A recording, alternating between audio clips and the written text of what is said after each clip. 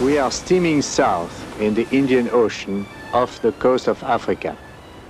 In the past half year, we have studied the creatures of the coral reef. We observed the life cycle of the giant turtles, and we ventured into the disquieting realm of the shark. Now we seek the largest animal that ever existed, the whale.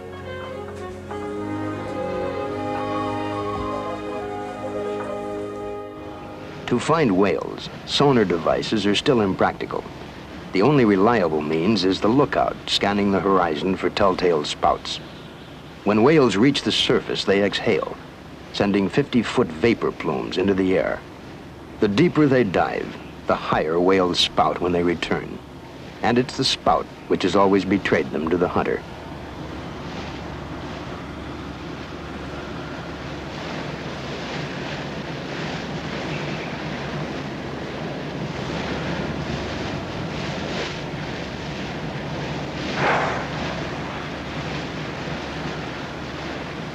Elle s'ouvre Elle s'ouvre À bâbord Droit devant Elle s'ouvre Droit devant Un peu sur la gauche C'est un hors-poil Elle peut faire plus de 20 mètres Combien il y en a Un seul Oui Ah, c'est sûr Elle s'ouvre We from the size and the characteristic hook-shaped dorsal fin that this is a finback whale. We must react quickly, for the finback stays only a minute or two at the surface. Then it will dive and be lost for as much as 20 minutes. Traveling alone or in groups of two or three, the daily routine of a finback is unknown.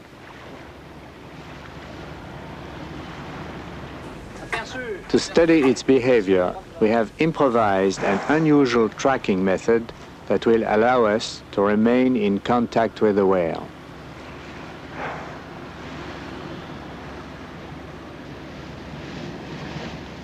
Chief diver Albert Falco becomes Queequeg, the harpooner of Moby Dick.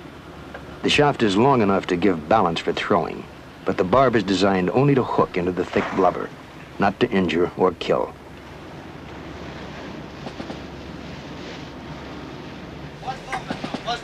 Droit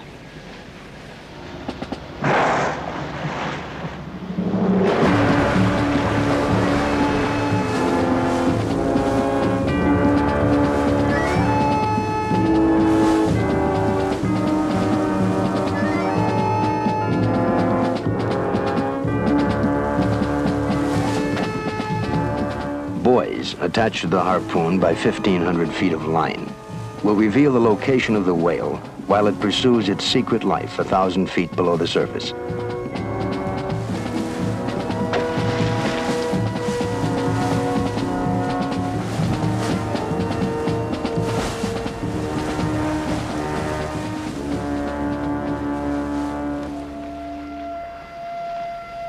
The thin line proves too fragile against the pull of the 20-ton finback.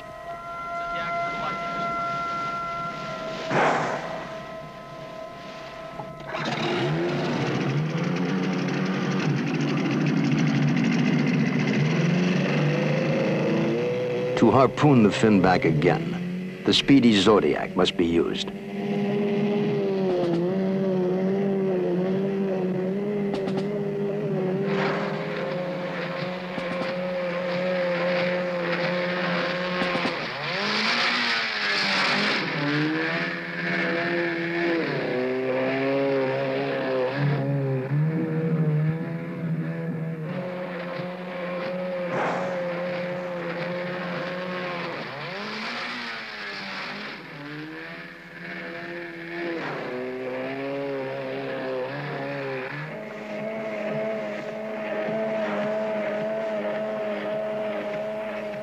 Cramped rubber boat, Falco will rely on the rifle harpoon to set the second line.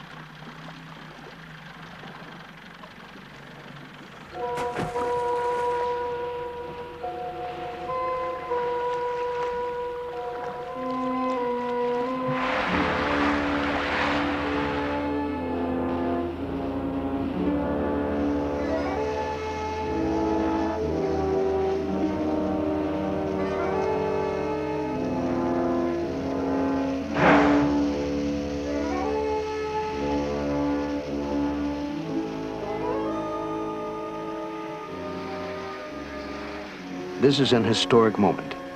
For the very first time, the finback whale is seen and filmed underwater in the open sea.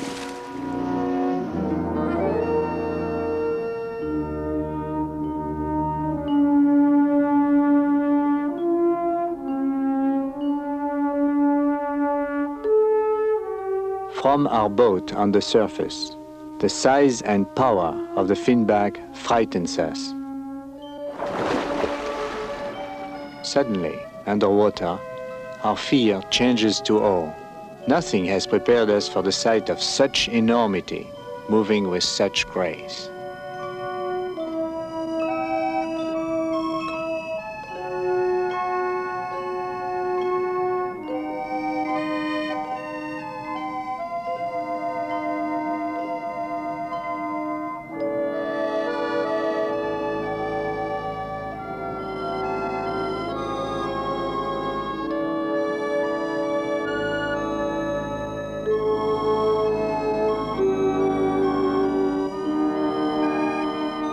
The tail of a finback measures 12 feet across and generates 200 horsepower. It is also the only defensive weapon he can use against predators, the shark, the killer whale, and even man. We are both mammals, man and the finback. Much of our body physiology operates in the same way. But in his adaptation to the sea, the whale has undergone critical changes. He is free in the three-dimensional world of the sea, and we are not. So it is with a sense of envy that we watch the finback return to the deep.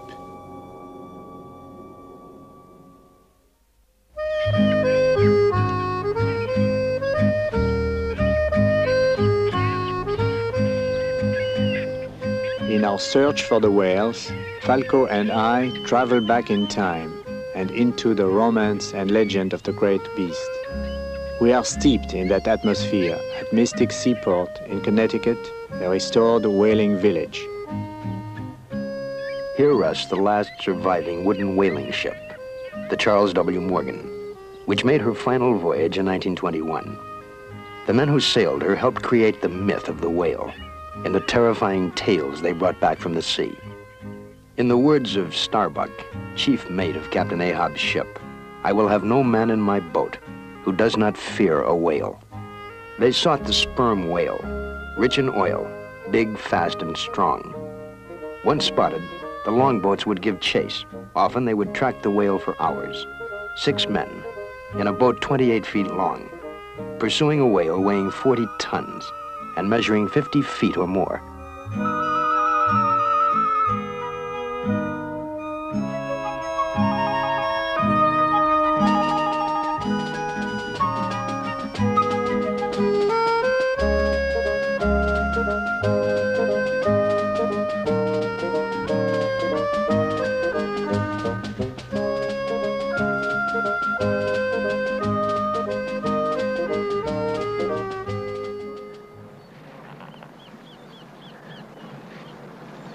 When the longboat gets close enough to the whale, the harpooner harpoons the animal, and the harpoon is attached to the boat by a long rope.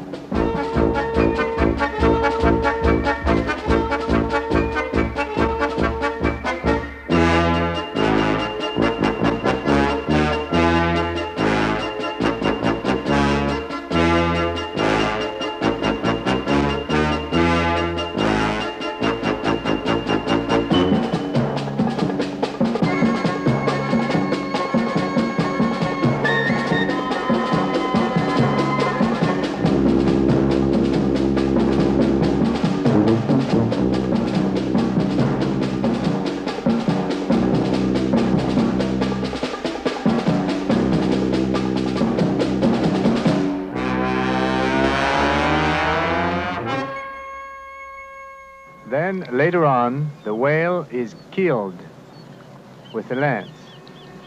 And this weapon is held and stuck into the lungs of the animal several times until it dies.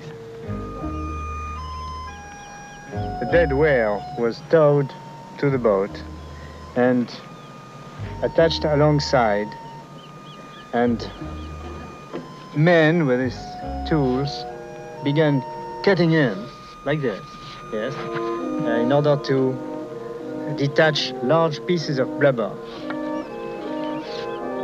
This was a very exhausting work.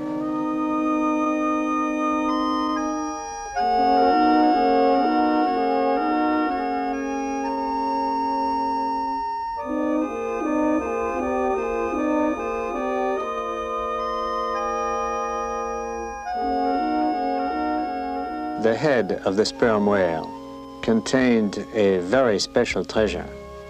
Several barrels of pure oil.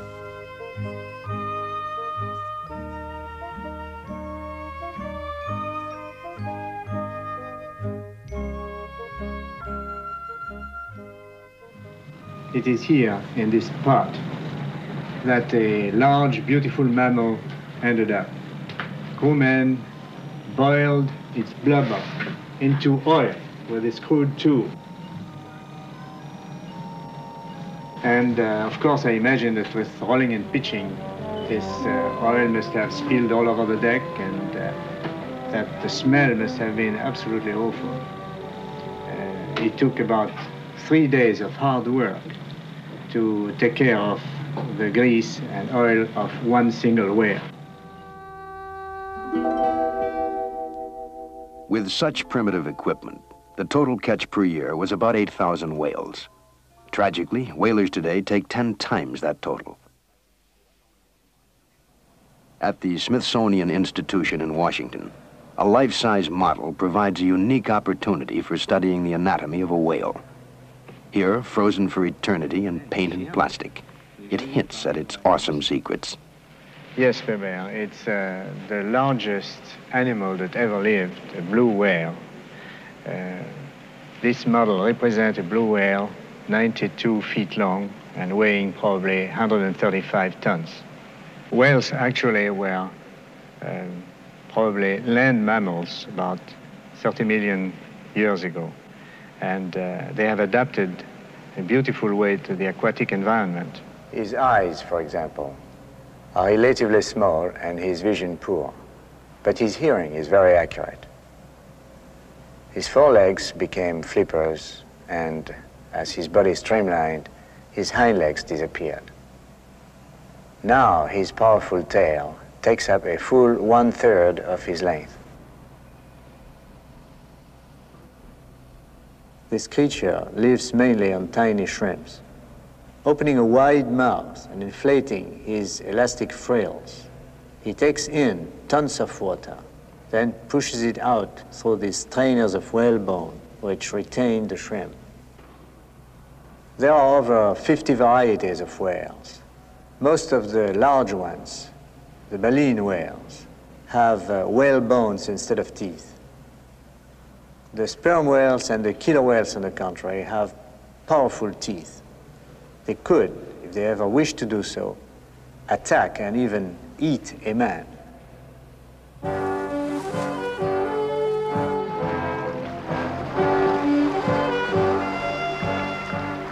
The huge dorsal fin marks the male killer whale. The largest male is the leader of a family group that lives and hunts the sea together.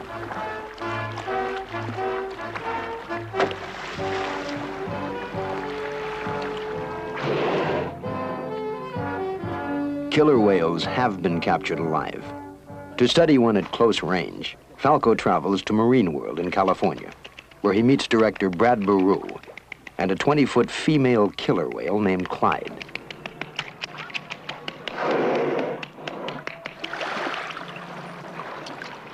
We brought the two females down from Canada, and uh, all the way down, they communicated with a very high, shrill sound, back and forth. The killer whale is known to attack dolphins and seals, and it appears at sea as if all creatures scurry from their path. Yet in the rare encounters of divers with the killer whale, he has always seemed to be only curious and friendly. Wonderful animals. They seem to be very intelligent. They adapt, seem to be adapting faster than the porpoises at this time. They respond to the sound. Yeah. Temperamental. She has a mind of her own.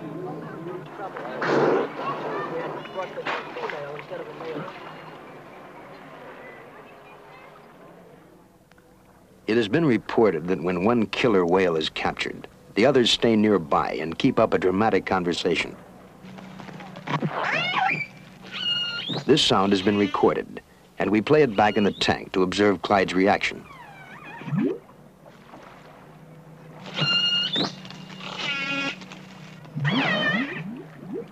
At first, Clyde answers the cries.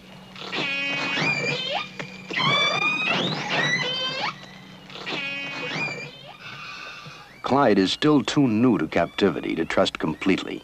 Falco enters the tank gingerly, unsure himself in a sea only 40 feet across. When the sound is switched off, Clyde turns away.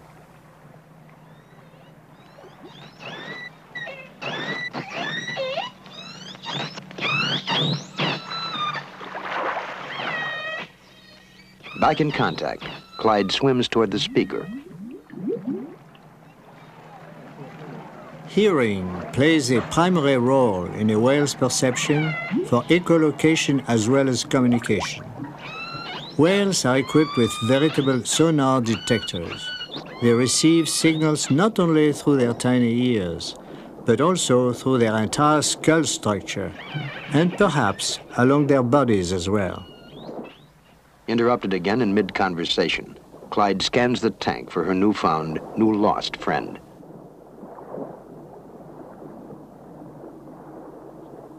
One day, we may be able to understand this squeaky language. But for the moment, it's enough to know they speak and understand.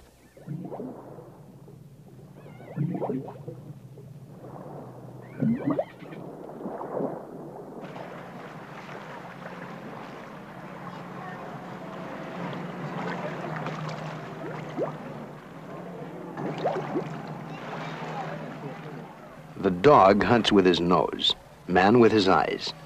The killer whale uses sound. The facility has developed because he lives in a world of limited visibility, where smell does not carry, but where sounds travel great distances.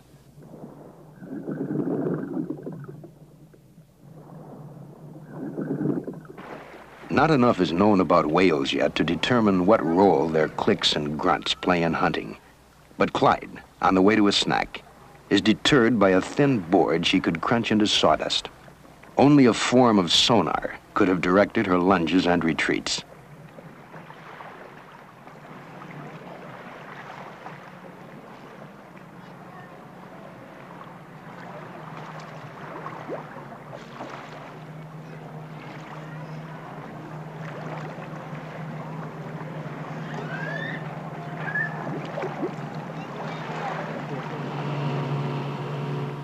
Falco thinks the high-pitched sound of a small motorboat interferes in some way with the communications apparatus of whales, like jamming a radio signal.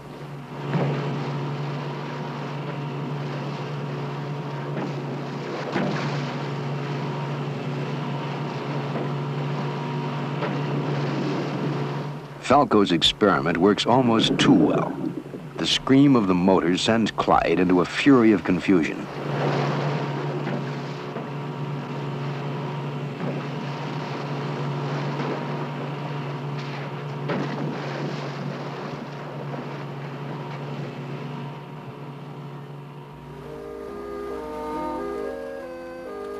20th, near the Maldive Islands.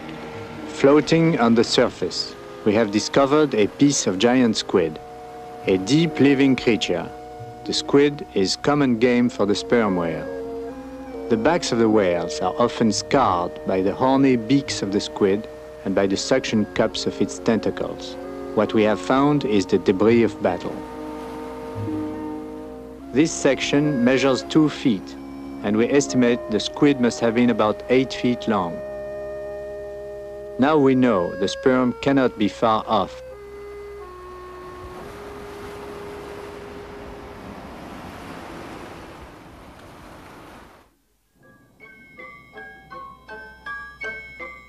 Minute drifting plants begin the chain of marine life. Small creatures feed on this watery meadow. They are prey for larger creatures who in turn become a part of the food chain that reaches the largest squid at 3,000 feet. It is to feed on squid that the sperm whale developed his remarkable capacity for deep dives. The search is underway for sperm whales in the area where the piece of squid was discovered.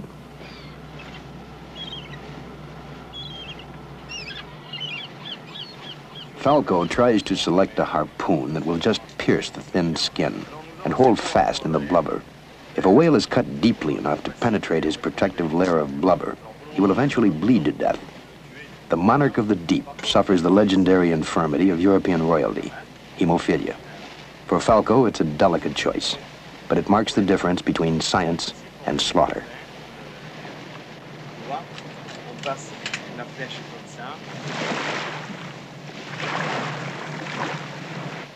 This time it's Dumas who raises the first whale.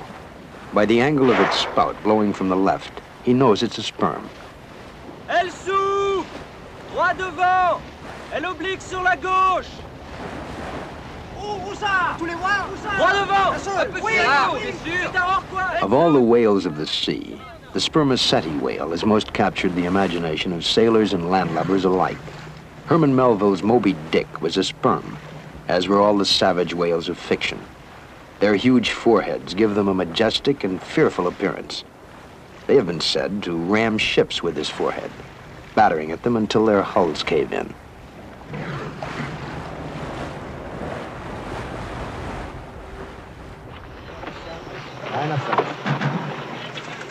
To find a whale is tricky. To keep track of him is even more difficult. And the maddest challenge of all is in our desire to film the whale underwater. First, we must attach our marker buoys to the whale so that we may follow him wherever he goes. A mounted knight stare up to the Zodiac. Falco enters the field. The very sound of the speeding Zodiac seems to complicate the problem of tagging the whale. The sperm veers away from the noise of the boat, and only the Zodiac's speed allows Falco to catch up with his target.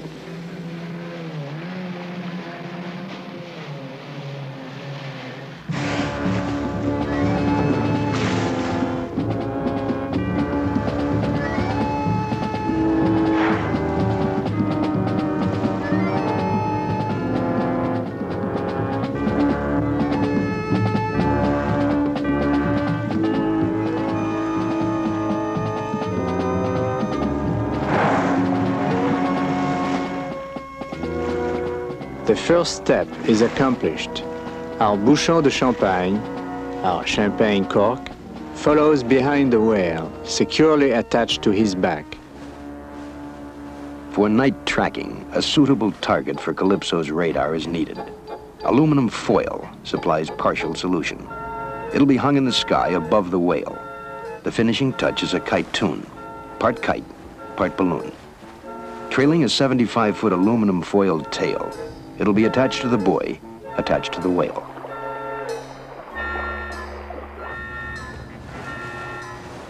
To study the unknown, untried tools must be used.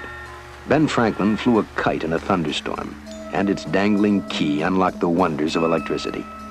The men of Calypso are explorers, and where no man has ventured before, there's no man to tell them how. Others came to the sea to kill Leviathan, plunder his riches, chase him to the brink of extinction. Now the task is to save him. But we cannot put this beast under a microscope or fashion an aquarium that will hold him. So we must grope for methods and construct crude pieces of apparatus to help. Aboard the Calypso, improvisation of equipment has become an art.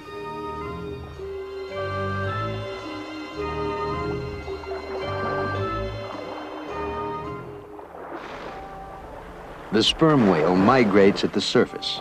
but feeds in the depths. 2,800 feet of line stretch from the whale to the Kytoon to allow for his dive. In a characteristic gesture, the tail fluke points skyward, and the sperm whale sounds.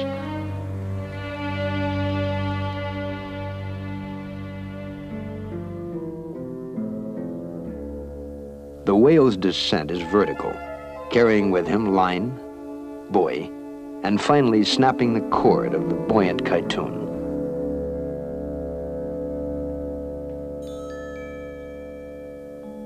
For the first time, it has been proven that the whale travels more than a half mile down in his search for food.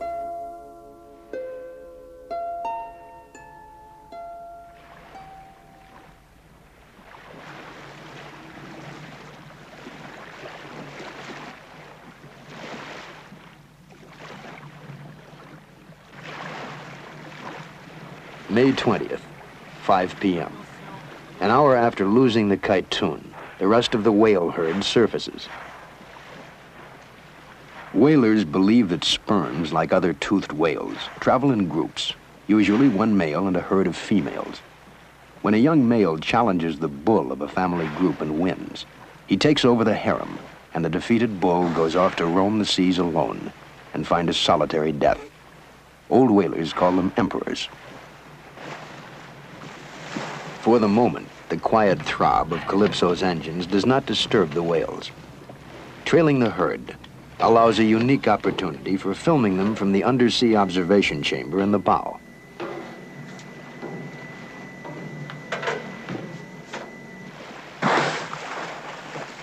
Attention, phoné. Alors attention, on tourne, hein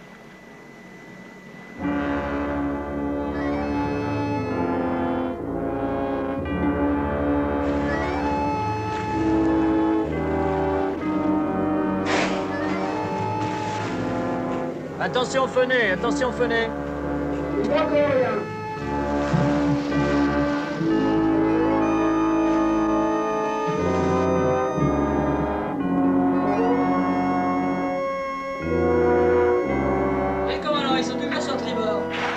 Moving slower than the herd, a mother and a newborn calf loom before Calypso on a collision course. The propellers must be stopped to avert possible injury to the baby.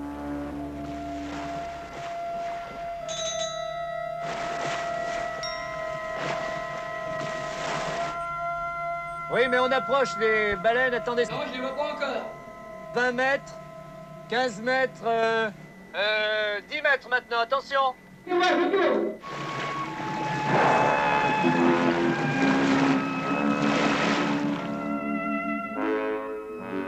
The baby whale, born tail first, must immediately be pushed to the surface to breed, or he'll drown. One third the size of the mother at birth, about 14 feet long. He drinks half a ton of milk a day, squirted from nipples that are hidden inside slits in the mother's belly. He will be full grown in 10 years, can live to 30.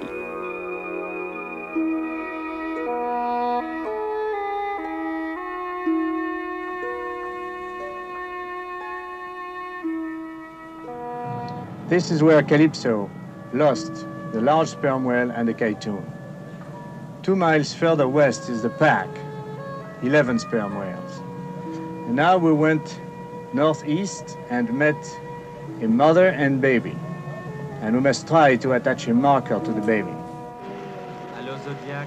Allô Baby whales do not dive deeply. We often see them waiting at the surface for the mothers to return from feeding.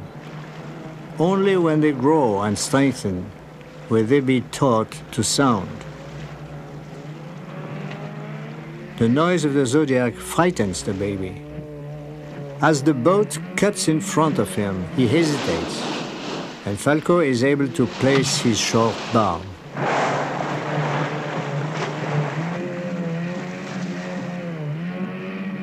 We have isolated the baby not to harm it, but to study the reactions of the baby and mother and the herd. Because we feel uneasy about what we have done, we hurried to check the condition of the young whale.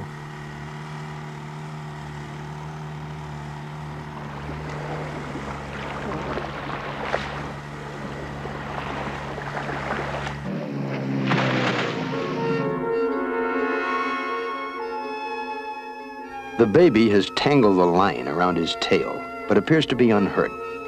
Secured like a lasso, the rope should hold, so begins an unprecedented investigation into the social behavior of the sperm.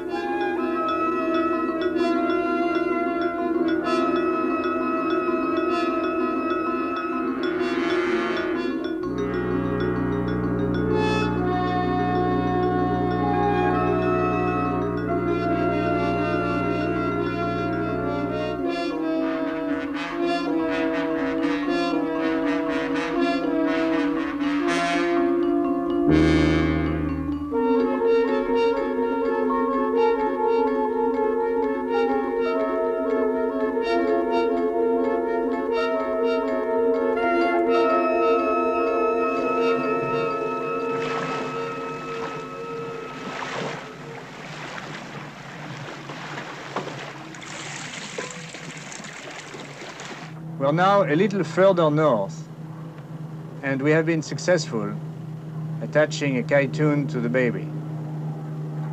The pack is still around.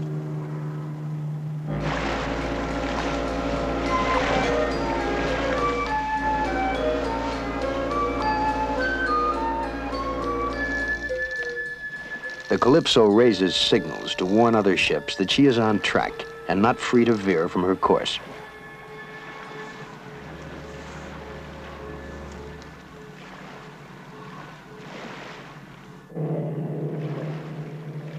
We are sure that mammals of the sea communicate with one another.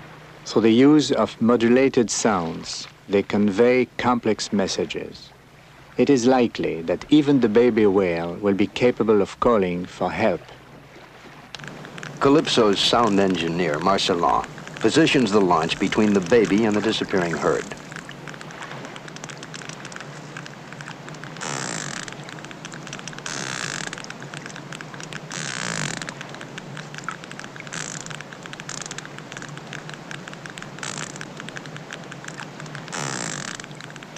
The hydrophone records two sounds. The constant clicking is the sonar beeps of the baby. The growl is his voice, his cry perhaps.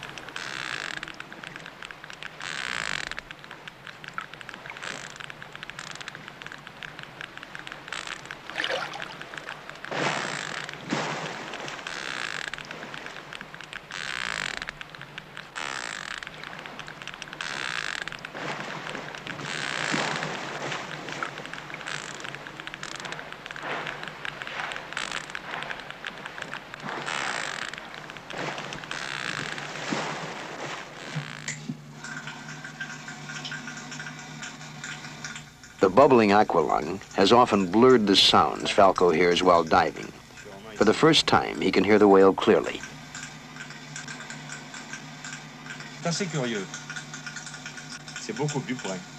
Ouais. T'attends Ah oui. Curieux. Je pense que c'est le petit qui était Ah oui. plus rapproché. Oui. Le petit était plus près de moi. Il est... Voilà, Ah tu oui. vois. Plus près. C'est très curieux. May 20th, 5:30 p.m. A rotating watch checks the movements of the whales. Whatever course the herd takes, the baby follows. By late afternoon, it appears as though other whales have joined the group. Perhaps some sense of community danger has drawn them, for the sperm whales are like a marching nation, moving inexorably from one pole of their migratory trek to the other. The buoy holds. The kytoon drifts behind. And as Calypso tracks the baby, crewmen, without realizing it, look up from their work periodically to check the progress of the infant sperm. The experience today has given me the basis of an intriguing theory. Apparently, in the oil-filled head of the creature lies the key to its success.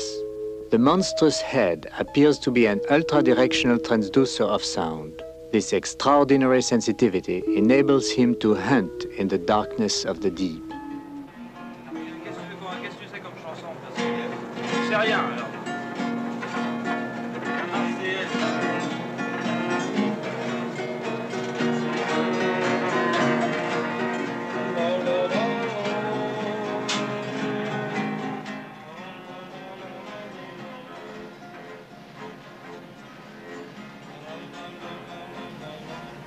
From evening sun to dawn, the radar will stand watch over the youngster and the bridal train of buoy and kytoon. In a very few hours, he has come to be more than simply the subject of an important study.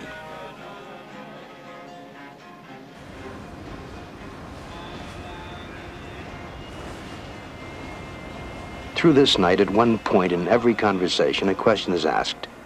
Est-ce qu'il est encore là? Is it still there?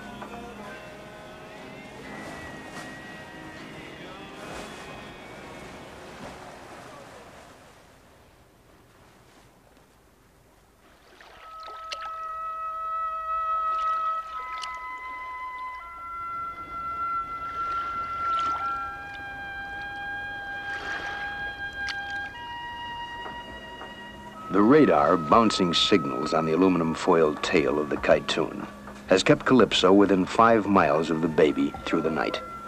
The first entry in the logbook of Calypso for May 21st reads, Oui, il est là. Yes, it is still there.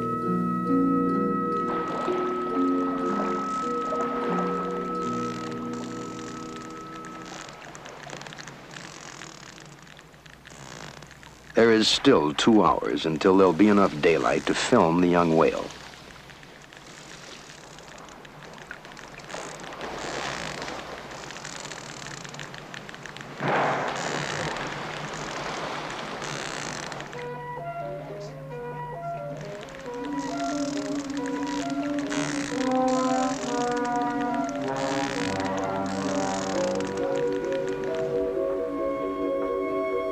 Constant chatter of the baby and the answers of the herd have reverberated through the sea. The morning lookouts report there are spouts on the horizon for 360 degrees around the ship. A few of the larger whales begin dropping back from the herd, and the intensity of the baby's cries increases. Old whalers claim to have seen one whale rescue another by pulling the harpoon free with their teeth. The mother cradles the baby in the way of whales, chattering her special sounds. It bends the imagination to consider that her sounds are instructions.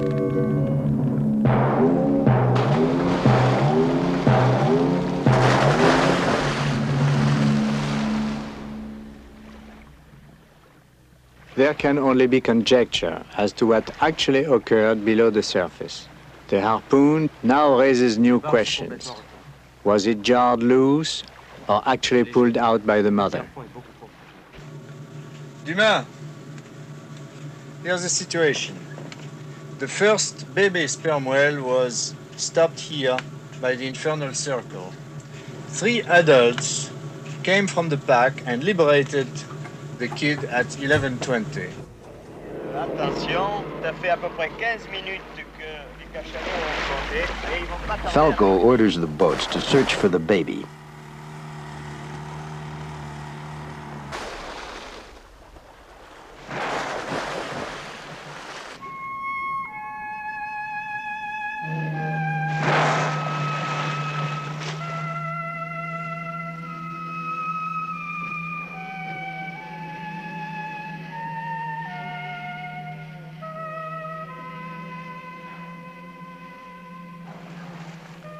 Baby, confused and frightened, ceases movement.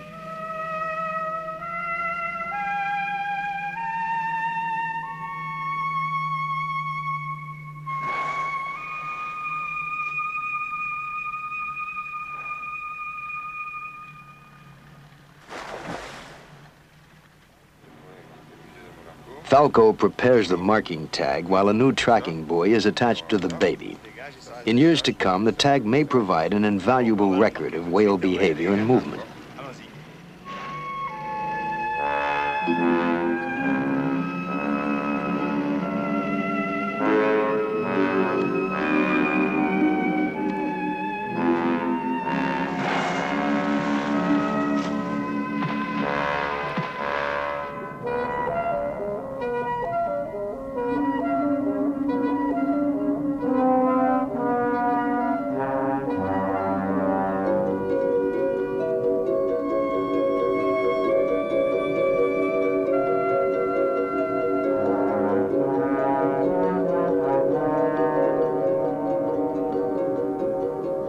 He's only a baby, yet he is 10 times the weight of a man. Because he lives in a realm of boundless food, he will grow to as much as 50 feet and weigh over 50 tons. In this manner, the entire species has thrived amid the plenty of the sea. In all likelihood, they will continue to grow larger and still larger for ages to come.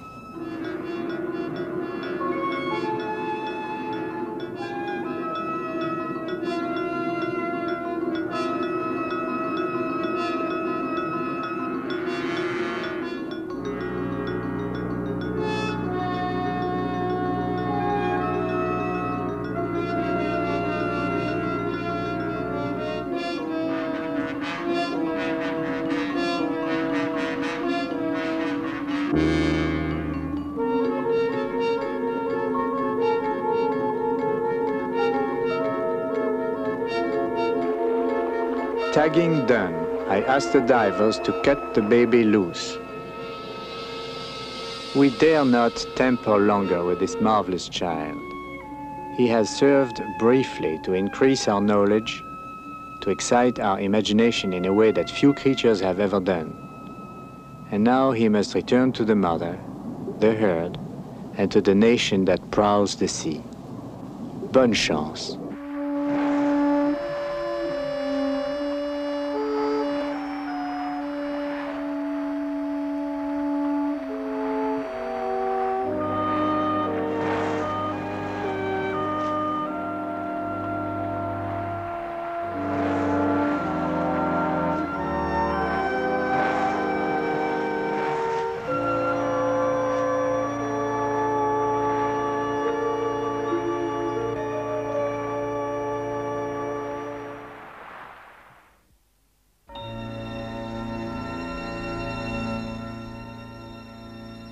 In the first years of the Calypso's travels, eager to explore the sea's unrevealed secrets, we searched all sorts of wrecks and plunged into lakes, rivers, and submerged caverns using diving gear and mini-sub.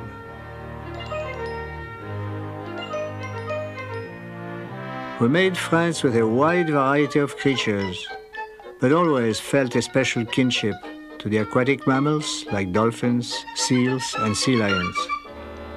Our amazement has never ebbed, and today we are as curious as ever to continue rediscovering the world with our new friends.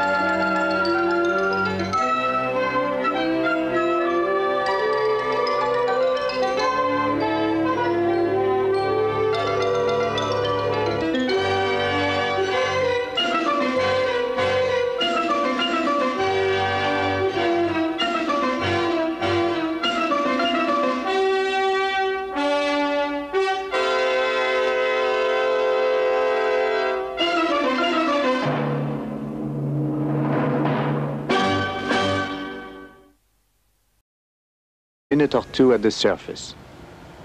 Then it will dive and be lost for as much as 20 minutes. Traveling alone or in groups of two or three, the daily routine of a finback is unknown.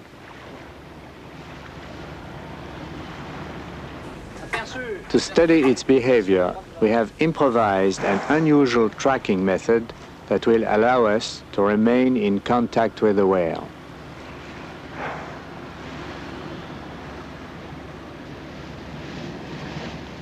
Chief diver Albert Falco becomes Queequeg, the harpooner of Moby Dick. The shaft is long enough to give balance for throwing, but the barb is designed only to hook into the thick blubber, not to injure or kill.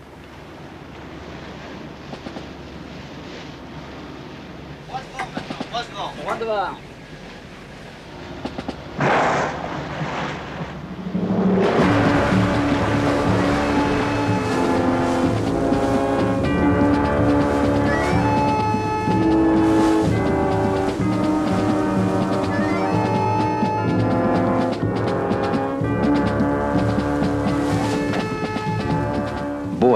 Attached to the harpoon by 1,500 feet of line will reveal the location of the whale while it pursues its secret life a thousand feet below the surface.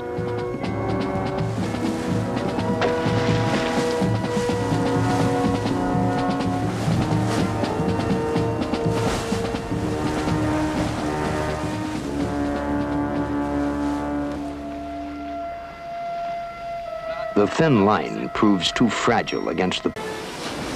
We are steaming south in the Indian Ocean off the coast of Africa. In the past half year, we have studied the creatures of the coral reef. We observed the life cycle of the giant turtles, and we ventured into the disquieting realm of the shark. Now we seek the largest animal that ever existed, the whale.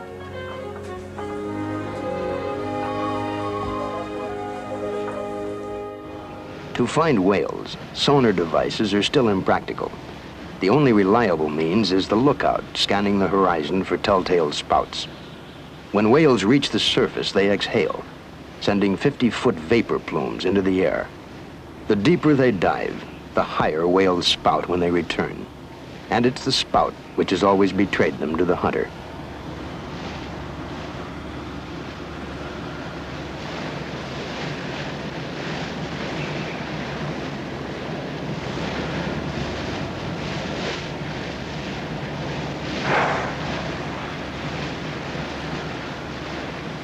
Elle s'ouvre Elle s'ouvre Droit devant Elle s'ouvre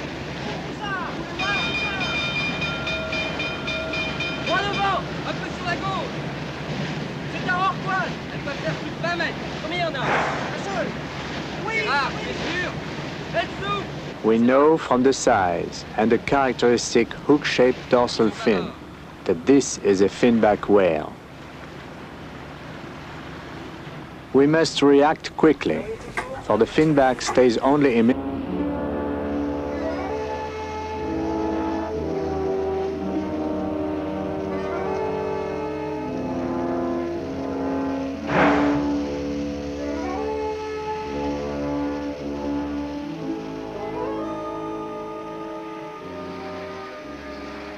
This is an historic moment.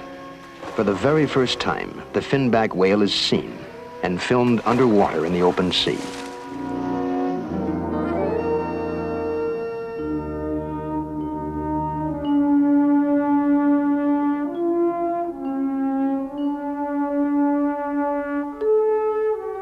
From our boat on the surface, the size and power of the finback frightens us.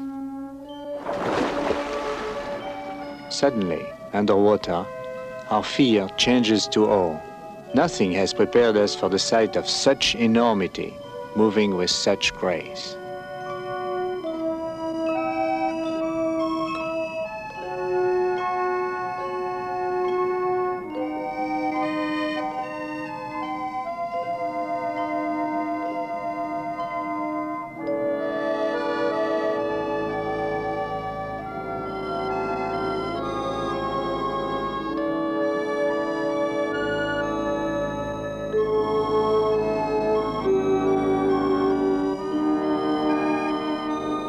Tail of a finback measures 12 feet across and generates 200 horsepower. It is also the only defensive weapon he can use against predators, the shark, the killer whale, and even man. Pull of the 20-ton finback.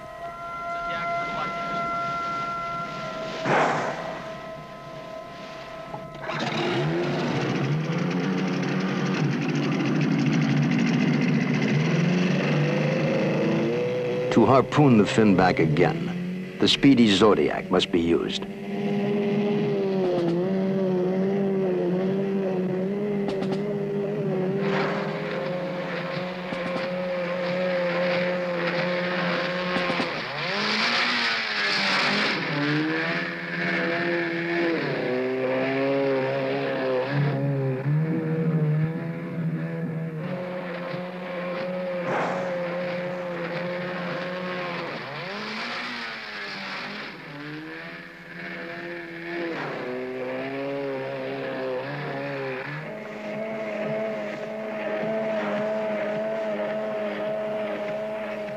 The cramped rubber boat, Falco will rely on the rifle harpoon to set the second line.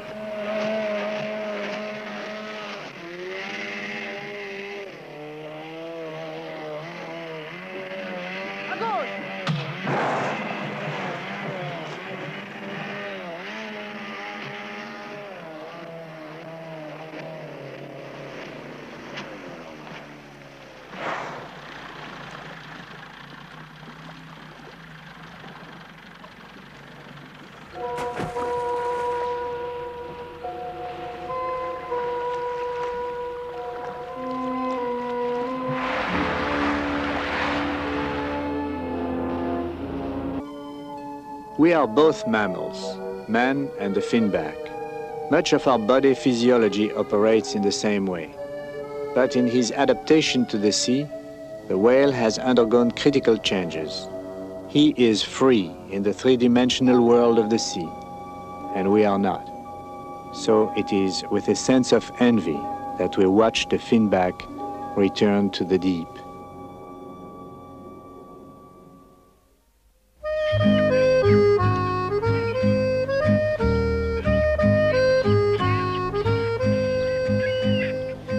Our search for the whales, Falco and I travel back in time and into the romance and legend of the great beast. We are steeped in that atmosphere at Mystic Seaport in Connecticut, a restored whaling village. Here rests the last surviving wooden whaling ship, the Charles W. Morgan, which made her final voyage in 1921. The men who sailed her helped create the myth of the whale and the terrifying tales they brought back from the sea. In the words of Starbuck, chief mate of Captain Ahab's ship, I will have no man in my boat who does not fear a whale. They sought the sperm whale, rich in oil, big, fast, and strong. Once spotted, the longboats would give chase. Often they would track the whale for hours. Six men, in a boat 28 feet long, pursuing a whale weighing 40 tons and measuring 50 feet or more.